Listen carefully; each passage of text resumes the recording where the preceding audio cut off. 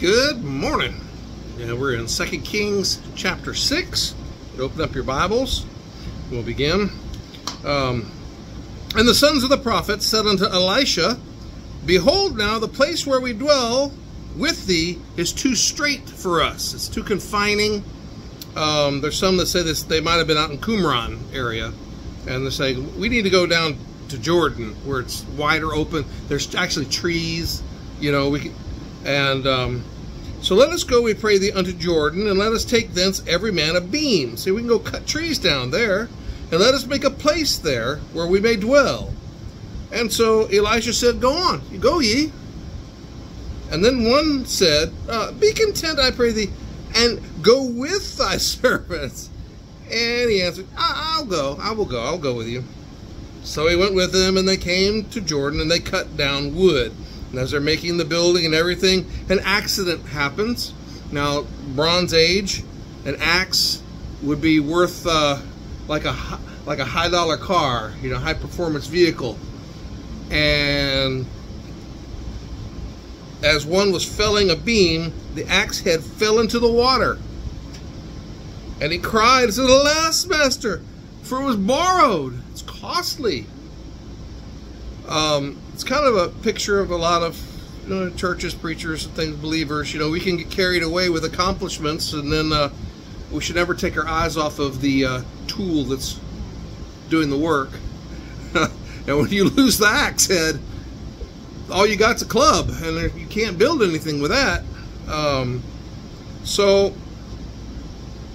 leave it to God to have a way out. Verse 6 And the man of God said, Where fell it? And he showed him the place. And he cut down a stick and cast it in thither, and the iron did swim. It rose up to the surface. Therefore he said, Take it up to thee. And he put out his hand, like, uh, I'm sure, and then took it up. There's the axe head. Wow. Uh, so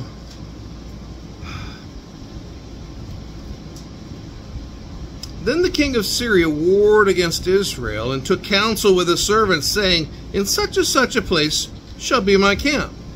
And the man of God said unto the king of Israel, saying, Beware that thou pass not such a place, for thither the Syrians are come down. Wait a minute. Did anybody tell Elisha? No, God told him. And then Elisha tells the king, Watch out, don't go over there. And the king of Israel sent to the place where the man of God told him and warned him of, and saved him there not once nor twice. So was just checking it out. Say, oh, no, that's not. They're there to kill us if we. It's a trap. Therefore, the heart of the king of Syria was sore troubled for this thing. We keep setting ourselves up to get this guy, and it's like some some little bird is telling him everything that we're doing, where we're going, what we're going to do. And so he called his servants and said to them, Will ye not show me which one of us is for the king of Israel? One of you is a spy. And one of his servants said, There's not a one of us, my lord, O king, but it's, it's Elisha, the prophet, that is in Israel. He telleth the king of Israel the words that thou speakest in thy bedchamber. There is nothing in a man's heart or his mind or what he speaks that God does not already know.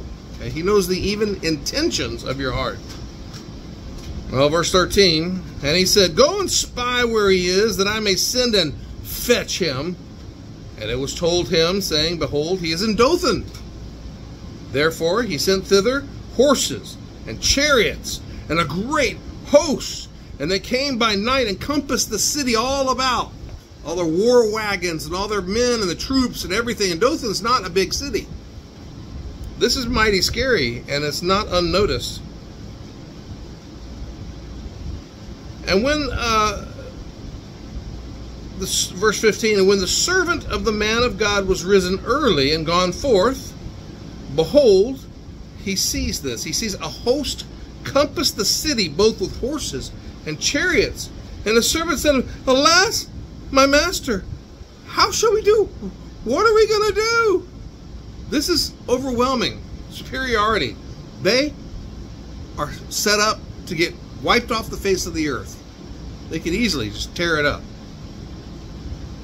Elisha looks at him and answered, Fear not, for they that be with us are more than that be with them. Really? And Elisha prayed and said, Lord, I pray thee, open his eyes that he may see. And the Lord opened the eyes of the young man, and he saw. And behold, the mountain was full of horses and chariots of fire round about Elisha. And when they came down to him, Elisha prayed unto the Lord and said, Smite this people, I pray thee, with blindness. And the Lord smote them with blindness, according to the word of Elisha. And Elisha said unto them, This is not the way, neither is this the city. Follow me, and I will bring you to the man whom ye seek. But he led them to the city of Samaria, the capital of Israel. And it came to pass when they were come into Samaria that Elisha said, Lord, open the eyes of these men that they may see. And the Lord opened their eyes, and they saw, and behold, they were in the midst of Samaria. Uh oh. And the king of Israel said unto Elisha, when he saw this, My father, sh shall I smite them? Shall I smite them? I can kill them. I can kill them all. And he answered, Thou shalt not smite them. Would you smite those whom thou hast taken captive with thy sword or with thy bow? You, you don't kill your captives. Okay, that's just you don't do that. That didn't happen until really this this last century. He says, Set bread and water before them that they may eat and drink and go to their master. So he pre prepared them, instead of just bread and water, he prepared them a great provision for them. When they had eaten and drunk, he sent them away. And so they went to their master. And so these roving bands uh, from Syria came no more into the land of Israel. And so these were the raiders that came in. However, this didn't settle well because that was enriching Ben Hadad, the king of Syria. So Ben Hadad decides, it's time for me to go and attack him. I'll take care of business. Verse 24, And it came to pass after this that Ben Hadad, king of Syria, gathered all of his host and went up and besieged Samaria. And there was a great famine in Samaria, and behold, they besieged it until a donkey's head was sold for 80 pieces of silver. And the fourth part of a cab of dove's dung sold for five pieces of silver. And as the king of Israel was passing by on the wall, there cried a woman unto him, saying, Help, my lord, O king! I need your judgment. And he said, If the Lord do not help thee, when shall I help thee? Out of the barn floor, out of the wine press? So I, there's nothing left. We're we're in dire straits. And the king said to her, What aileth thee? She answered, This woman said unto me, Give thy son that we may eat him today, and we will eat my son tomorrow. So we boiled my son and did eat him. And I said unto her, On the next day, give thy son that we may eat him. And she has hid her son. Ugh. When the came to pass, when the king heard the words of the woman, that he rent his clothes. He passed by on the wall, and people looked, and behold, he had sackcloth within upon his flesh. He was mourning deeply. Then he said, God do so and more to me if the head of Elisha the son of Shaphat shall stand on him this day. He's blaming the prophet, blaming the wall. But Elisha sat at his house, and the elders sat with him, and the king sent a man from before him, uh, someone to kill him. But ere the messenger came to him, he said to the elder, See how this son of a murderer has sent to take away mine head. Look, when the messenger cometh, shut the door. Hold him fast to the door. Is not the sound of his master's feet right behind him? And while he had talked with him, behold, the messenger came down unto him, and he said, Behold, this evil is of the Lord. What should I wait any what what should I wait for the Lord any longer? So uh, the king comes behind, tells the messenger not to kill him, and um, instead they have a little conversation. And Elisha says, verse uh, chapter 7 verse 1 says hear ye the word of the lord thus saith the lord tomorrow about this time shall a measure of fine flour be sold for a shekel and two measures of barley for a shekel in the gate of samaria Well, then a Lord, on whose hand the king leaned, answered the man of God and said, Behold, if the Lord would make windows in heaven, might this thing be? He didn't believe Elisha. Discounts it. Said God would have to put windows in heaven to dump this stuff out. There's no way this can happen. And Elijah says, Behold, thou shalt see it with thine eyes, but you're not going to eat thereof. and there were four leprous men at the entering of the gate, and they said to one another, Why sit we here till we die? You know, if we say, uh, if we we shall enter into the city, and then the famine is in the city, we'll, we'll die in the city. If we sit still here, we're going to die also. now therefore come, let us go out, fall into the host of the Syrians. Now if they save us alive, then we shall live. But if they kill us, you know, we're going to die anyway. Let's go. Let's go die. At least we have a chance. And they rose up in the twilight to go into the camp of the Syrians. And when they were come to the uttermost part of the camp of Syria, behold, there was no man there. There were no humans. For the Lord had made the host of the Syrians to hear a noise of chariots and a noise of horses, even the noise of a great host. And they said one to another, Lo, the king of Israel has hired against us the kings of the Hittites and the kings of the Egyptians to come upon us. Wherefore they arose and fled in the twilight, and left their tents, their horses, their donkeys, even the camp as it was, and they fled for their life. When these lepers came to the uttermost part of the camp, they went into one tent, did eat and drink, and carried then silver and gold and raiment, and they went and hid it. Came again, entered in another tent, and carried it thence also, and went and hid it. And then they said one to another, oh, "We're not, we're not doing right. You know, it's never good to keep good news to yourself, right? God gives good things so that you can give hope to others." And in this case, these lepers realize it, and they said, "We do not well. This this day is a day of good tidings, and we hold our peace." He says, "If we tarry till morning light, some mischief will come upon us. Now therefore come, that we may go and tell the king's household." Let's go report this. They came, called unto the porter of the city. Of course, the gates are closed, and they told him, saying, "We came to the camp of the Syrians, and behold, there was no man there, neither voice of man." The horses are tied up, the donkeys are tied up, the tents are, are as they were. So they called the porters, and they told it to the king's house within. And the king arose in the night and said unto his servants, I will now show you what the Syrians have done to us. They know that we be hungry. Therefore they are gone out of the camp to hide themselves in the field, saying, When they come out of the city, we're going to catch them alive and get into the city.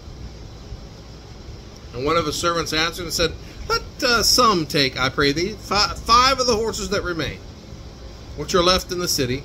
Behold, they are all as a multitude of Israel that are left in it.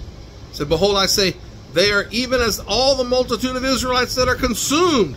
Let us send and see. So basically, this pitiful show of horses is, is where we're at right now. It's all we got. There's there's nothing left. We're we're consumed to the point where there's nothing left. We've got to chance them. We've got to go try it. So they, therefore, they took two chariot horses, and the king sent after the host of the Syrians, saying, "Go and see." And they went after him all the way into Jordan, and lo, all the way was full of garments and vessels which the Syrians had cast away in their haste. They left a trail behind them, fleeing. And the messengers returned and told the king, and the people went out and spoiled the tents of the Syrians. So a measure of fine flour was sold for a shekel, and two measures of barley for a shekel, according to the word of the Lord. True prophet, true prophecy. And the king appointed the Lord on whose hand he leaned to have charge of the gate. And the people trode upon him in the gate, and he died. As the man of God had said, who spake when the king came down unto him, told him, You didn't believe, you had the sin of disbelief, and now you're going to hear it. You're going to see it. But not going to taste thereof. You will die. You will mock it. And it came to pass as the man of God had spoken to the king, saying, Two measures of barley for shekel, and a measure of fine flour for shekel shall be tomorrow about this time at the gate of Samaria. And the Lord had answered the man of God and said, Now behold, if the Lord should make windows in heaven, might such a thing be? And he said, Behold, thou shalt see it with thine eyes, but thou shalt not eat thereof. And so it fell out unto him, for the people trode upon him in the gate, and he died. So twice now it's mentioned here. You have the prophecy. Twice it's just emphasizing the fact that when you don't believe in God's provision for you, you're not believing God. You know, careful.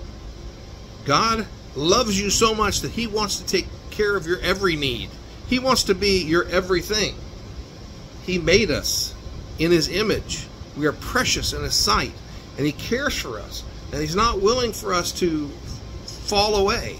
He really, really desires our love, especially in times, hard times. I think of Job, you know, all that he lost, and yet still he worshiped God. It didn't matter.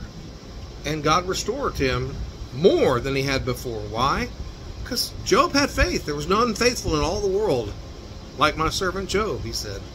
And of course, God was correct. Here, Elisha uh, just pointed out that having faith in God gives you rewards. Um, doing the right thing also has rewards because these lepers were, you know, enriched, but they didn't end up with something bad happening to them because they kept the good news to themselves. Um, let's pray. Father God, we thank you for your provision and your love and your care for us. We pray, Father, that you